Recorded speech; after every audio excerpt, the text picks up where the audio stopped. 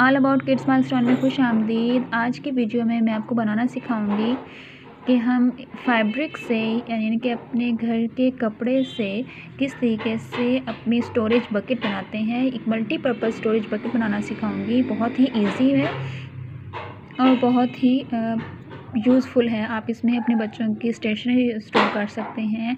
आप इसमें बच्चों की टॉयज़ ऑर्गेनाइज करके रख सकते हैं। इसे अपने किसी भी किस्म के, मुख्तलिफ़ किस्म के चीज़ों के लिए भी आप इसे यूज़ कर सकते हैं। यहाँ पे मैंने इसकी बेस और साइड्स की कटिंग करके रखी हुई है। तो मैं आपको बता देती हूँ कि आपने किस तरीके से कटिंग करनी है। ये देखें ये भाई बेस है, यानी कि नीचे वाला पार्ट है और ये डबल फैब्रिक है। ये देखें ये डबल फैब्रिक है। इसके अंदर मैं बुकरम रख के इसको हार्ड बनाऊँगी। आप इसको बुकरम रख के हार्ड बना सकते हैं, यानी कि इसे हार्ड करने के लिए, क्योंकि ऑफकोर्स ये कपड़ा है तो ये ढलकेगा। तो इसको हम फैब इस फैब्रिक के अंदर आप बुकरम भी रख सकते हैं, वो जो हार्ड वाला बुकरम होता है। इसके अलावा आप इसके अंदर कार्डबोर्ड का यूज़ भी कर सकते हैं। तो मैं, मेरे पास कार्डबोर्ड नहीं है इस वक्त तो मैं क्या करूँगी, कार्डबोर्ड वही होते हैं जो हमें कर्टन्स वगैरह हम यूज़ करते हैं। उसमें मतलब जो हमारी पैकिंग में आते हैं, जिस तरह क्रॉकरी की पैकिंग होती है उसमें जो बॉक्सेस, जो डब्बे में आते हैं गत्ते के, उस, उसके पीसेस कट करके तो आप उसके गिर्द यूँ सिलाई भी लगा सकते हैं। तो लेकिन मैं इसमें जो है बुकरम का यूज़ करूँगी तो ये डबल फैब्रिक है। तो ये मेरी बेस है, यानी कि नीचे वाला पार्ट इतना है, यानी कि मुझे अपनी बकेट जो अपना बास्केट है, उसका साइज़ इतना रखना है। ये इसकी लेंथ है। आपने इसकी लेंथ और विर्थ जो है वो मैयर कर लेनी है अपने हिसाब से, जितनी आप उसकी रखना चाहें। तो अब हम क्या करेंगे कि दो पीसीज हम कट करेंगे, हम अपनी जो है विर्थ के हिसाब से। सॉरी लेंथ के हिसाब से, दो पीसेस हम इसकी लेंथ के हिसाब से कट करेंगे और दो पीसेस हम जो है प्लीज़ इसकी विर्थ के हिसाब से करेंगे। तो ये हमारी बेस हो गई।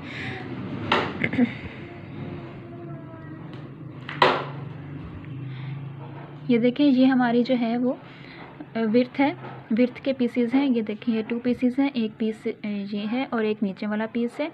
ये टू पीसीज हैं और ये दोनों ही जो हैं वो इस तरह डबल फोल्डेड पीसीज हैं।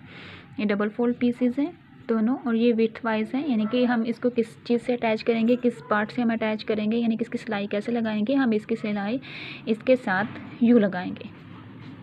कि इन दोनों की आपस में इस तरह सिलाई लगाएँगे। तो ये दो पार्ट जो है हमारे, ये इसकी मयरमेंट जो हमारी जो बेस थी, दो पार्ट जो है हमारी इस बेस के अकॉर्डिंग मयरमेंट में लिए हुए हैं। अब दो पार्ट जो मैं आपको नेक्स्ट दिखाऊँगी, वो हमारी इस मयरमेंट के अकॉर्डिंग होंगे। ये देखें, ये दो पार्ट हैं। ये भी डबल डबल है। ये डबल फैब्रिक है, ये देखें, डबल फैब्रिक है। तो ये ये एक पार्ट ये है और एक पार्ट ये है। दोनों पार्ट जो हैं, ये इसकी लेंथ के हिसाब से, इस हिसाब से। तो अब सबसे पहले हमने क्या करना है? सबसे पहले मैं क्या करूँगी कि लेंथ वाइज इसके साथ और इसके साथ मैं फैब्रिक अटैच कर लूँगी। अब हमने कैसे अटैच करना है लेंथ वाइज? ये देखें। ये सीधी साइड है। सीधी साइड है, मैं आपको दिखा रही हूँ। सीधी साइड से ये यहाँ से हम इसकी स्टिचिंग करके लेकर जाएँगे। ये देखें, ये साइड जो है, इसकी स्टिचिंग कर देंगे। इसको मैं पहले पिन से पिनअप करती हूँ। पिनअप करने के बाद मैं आपको दिखाती हूँ। ये देखिए वर्ड्स मैंने बेस के साथ ये हमारी बेस थी।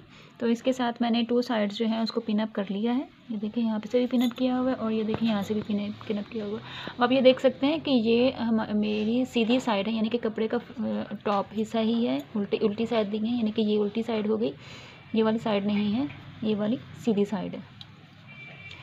और यहाँ से मैंने ये चीज़ ओपन रखी थी ताकि यहाँ मैं अपना हार्डबोर्ड या कोई भी चीज़ कार्डबोर्ड रख सकूँ, जो मुझे अवेलेबल हो।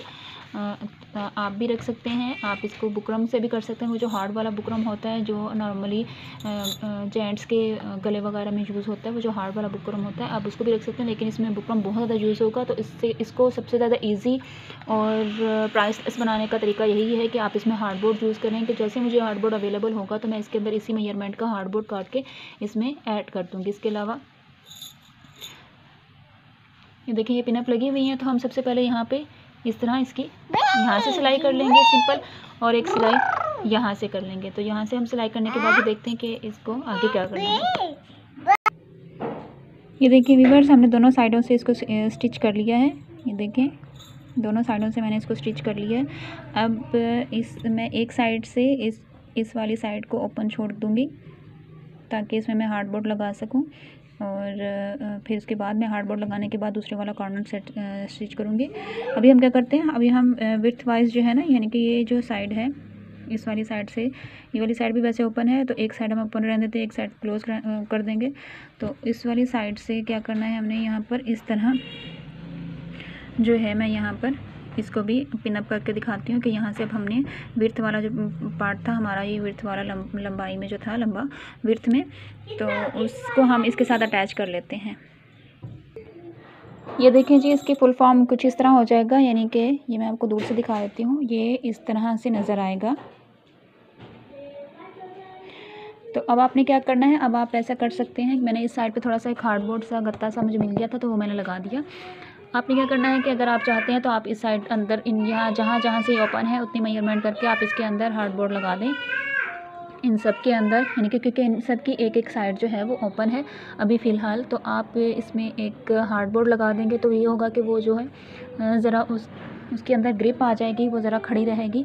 मेरे पास तो अभी हार्डबोर्ड अवेलेबल नहीं है, इसलिए मैं इसे सिर्फ़ कॉटन से, यानी कि फैब्रिक से ही बनाने लगी हूँ। तो जब आपकी इस फॉर्म में आ जाएगी तो हमने क्या करना है? अब हमने इस को और इसको, यानी कि दो कॉर्नर्स को आपस में स्टिच करना है।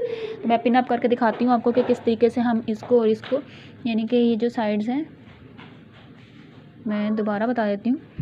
ये देखें, ये जैसे ये साइड थी तो उसकी ये वाली साइड और ये वाली इन दोनों को आपस में यहाँ पे इकट्ठा करना है कंबाइन करना है हम पिनअप करते हैं फिर उसके बाद मैं दिखाती हूँ कि पिनअप करने के बाद आपने स्टिचिंग एक्चुअली कैसे लगानी है।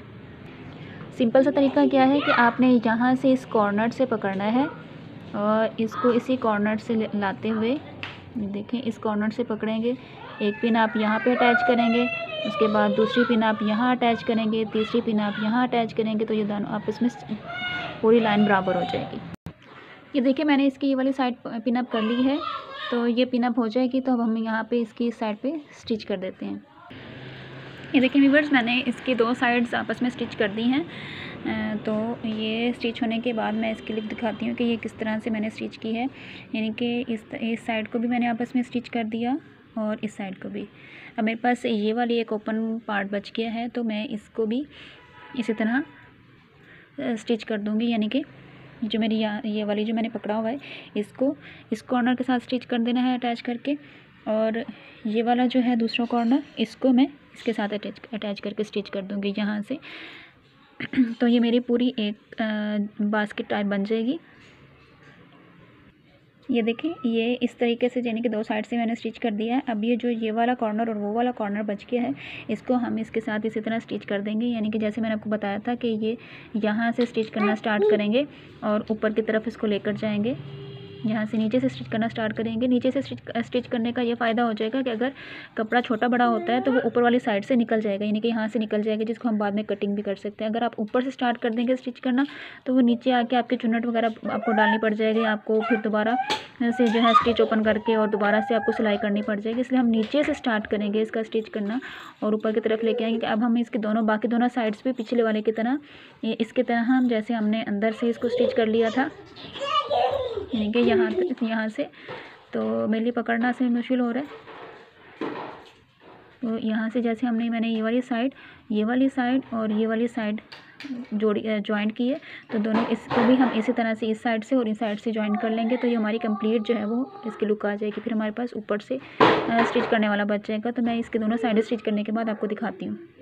ये देखें ये कंप्लीट जो है, चारों साइडें कॉर्नर चारों कॉर्नर सिल के तैयार हो गए।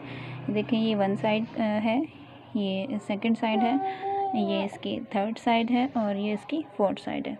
तो ये चारों साइडें इसकी बन के तैयार हो गई हैं। अभी मैंने जो है, ये इसकी सीधी साइड है जिसको मैं इसको टर्न करके इसको सीधा साइड पे करूँगी, लेकिन अभी हमें क्योंकि यहाँ से भी स्टिच करना है तो हम इसके कॉर्नर्स जो है, ऊपर वाली सारी सारी साइड इसको, इस पूरी साइड जो है, यहाँ से स्टिच कर लेंगे।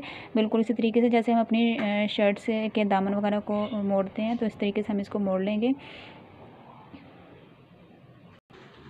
ये देखें जी, ये बकेट बन के तैयार होगी। मैंने इसके ऊपर से भी स्टिचिंग कर ली थी।